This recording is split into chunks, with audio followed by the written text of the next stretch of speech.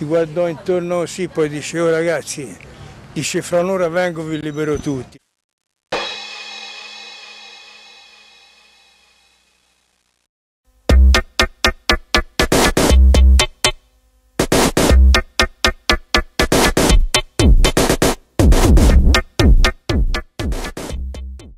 C'era la misera, noi si è studiato, si è fatto l'università per la strada. Io, io, sono nato a Venezia, nel quartiere Venezia, no? Venezia, e le porte non c'erano, c'erano le tendine, eh. in dove c'erano le porte non c'erano le chiavi, eh, la chiave apriva tutte le porte e se una mancava da mangiare quella accanto glielo dava. L'estate venivamo, si chiamava all'acquario, si faceva le orse dal coteto tutta la via Montebello, si arrivava lì gli impressionisti hanno sempre avuto paura dei, dei macchiaioli, di fare un incontro diretto di tutte e due, perché i macchiaioli hanno una grande luce e loro sono sfaldati. Cos'è che manca a Livorno?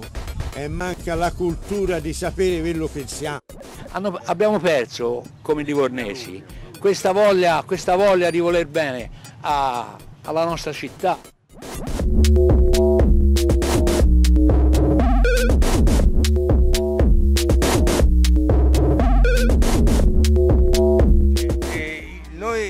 Tutti imparato a giocare per strada. La strada era, era la nostra palestra, ci, ci si arrangiava. I Bani Livorno mm, avevano un campo di, di pallacanestro trasformato poi in gabbioni. Siccome davamo fastidio ai bagnanti che intorno al gabbione all'ora di pranzo pranzavano e qualche pallonata la prendevano, il direttore che era Peroneri decise di metterci una rete.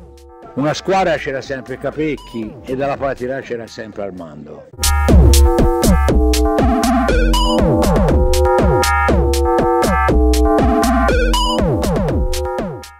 Eh, mi pareva l'ora di essere libero, stanco, morto, anche quando facevo festa per dire a luna, essere lì per esserci incastravo, anzi si faceva le corse per arrivare lì e entrare nel, nel lotto praticamente titolare oltre che quei 4-5 amici Lessi, Falorni, Armando, Zighetti e compagnia bella, altri amici.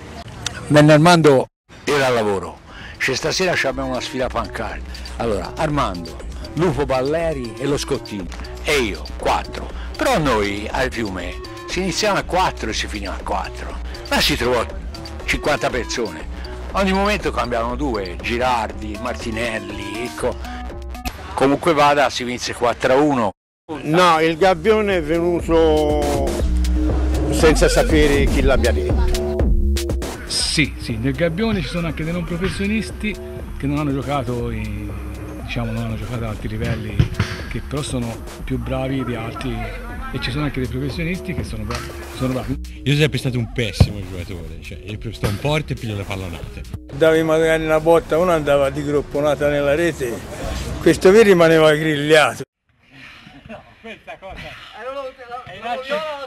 Vent'anni si gioca ci siamo divertiti sempre, qualcuno si rompe ogni tanto, è un avvicendamento.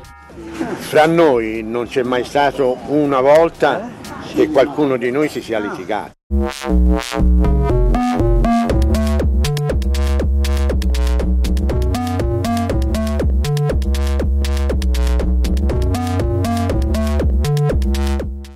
Gli ha messo tutto ma è bene giocarlo fra amici.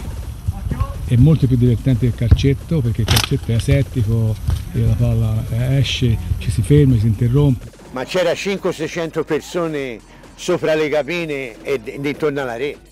Le regole ce le facevamo noi, hai capito? All'infuori di qualche volta che quello invece di prendere la villa prendeva via e diceva no è qui, ma quella fa parte del gioco, capito? Sì, sì, eh. Bastava aspettare un po' e rimaneva, li, la li, rimaneva la stampa. Se io avessi agguantato uno per la maglia mi sarei sentito il peggio essere della terra, perché Dio non sei buono a rincorrere quello lì, datti una patta.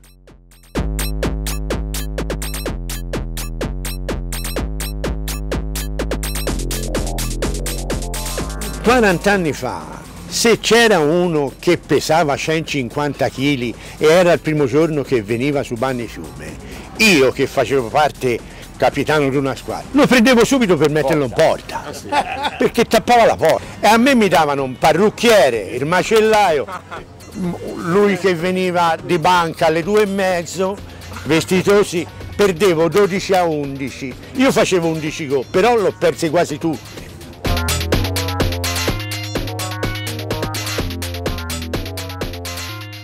E Enrico quando andò all'Inte la fece costruire a Piano Gentile questa gabbia perché l'aveva vista proprio sul mare a Livorno e perché poi e dopo il 60 tutti i bagni hanno costruito la gabbia. La gabbia è a Livorno perché a Livorno ci sono i bagni eh, che sono una realtà nazionale diversa dagli altri stabilimenti panneri eh, in Italia.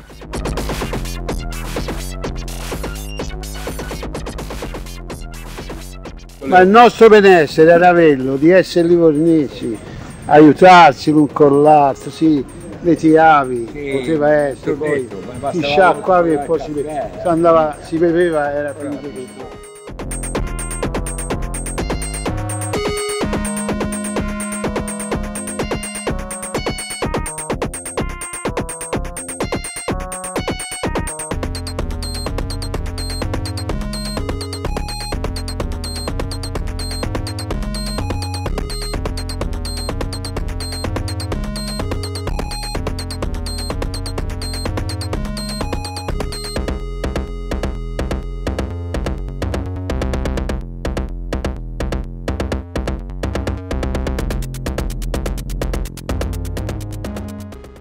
Com'è Livornese? Bravi ragazzi, però lo Spagnoli disse una volta alla televisione, dice lo stoccafisso lo sapete è buono, lo conoscete sì, il Livornese è buono ma digerirlo è dura.